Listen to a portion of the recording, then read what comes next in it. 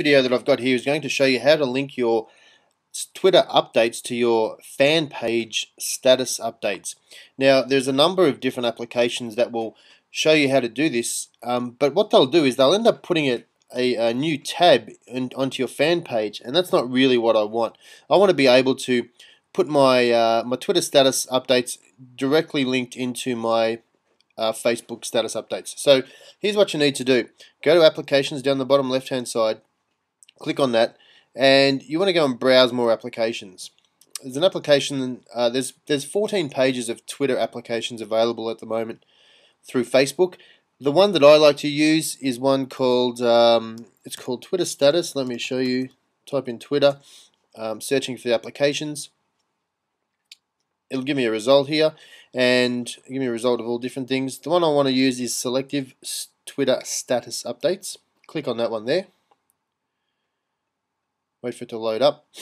Uh, go to application. Actually, I'm going to add it to my page. Straight, straight add to my page. You click on this. Now, it'll tell you which page do you want to add it to. Pick on your own page. You can actually add this to your own personal profile if you want. But at the moment, all I want to do is add it to my um, my own page. I don't want to add it to my profile. Um, and the other thing to remember on this is that you want to make sure that you've got no other Twitter applications open or available because they sort of play up with each other. So for best results, get rid of all your other applications on Twitter and just use this one here. Okay, I'm going to go to my uh, my fan page itself. So I'm back on my fan page. I'm going to edit the page and you'll see that uh, it should have down the bottom here Twitter selective Twitter status updates. Click on uh, you want to do application settings. You need to set this up, and you need to uh, get permission from Twitter to do this. Now I'm going to edit the uh, I'm going to edit the application itself. Now you want to find out what what what's your Twitter name. Put your Twitter name in there. Um, it's going to ask you for permission. You need to uh, click on the the line that says give permission. What that will do is it'll let you load uh, log into Twitter, put your password in there, and then allow the application to grab the information from there. So I'm going to hit Save Changes. Um, I want to allow selective Twitter status to access um, all my information. Once that's done, let it load up. Um, click Allow Status Updates for that and we're almost done. Now, one thing about this little application is that when you go to, uh, when you put your tweet down, I'm going to show you that now. Let me just, uh, let me just open up a new file.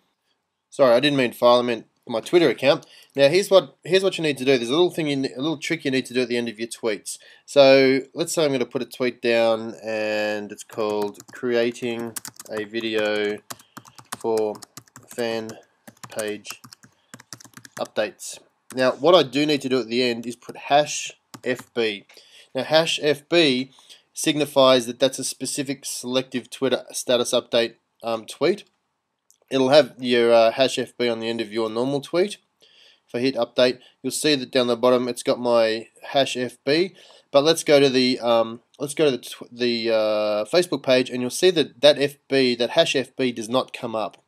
Now, the other thing that you need to remember is that it can take up to two to three minutes for it to update your status update. But, um, you know, that's not too bad considering. So let's have a look at that. Let's have a look at that now. There you go, I've just fast forward a minute 15 on the video. Um, and as you can see, creating a video for fan page updates, there is no uh, hash FB on my status update. Um, and you can see it's via selective Twitter status. So there you go, pretty easy way to do it. Um, there is uh, not a lot of information out there on the internet to um, find this info, so hope you enjoy it, hope you use it. Um, good luck.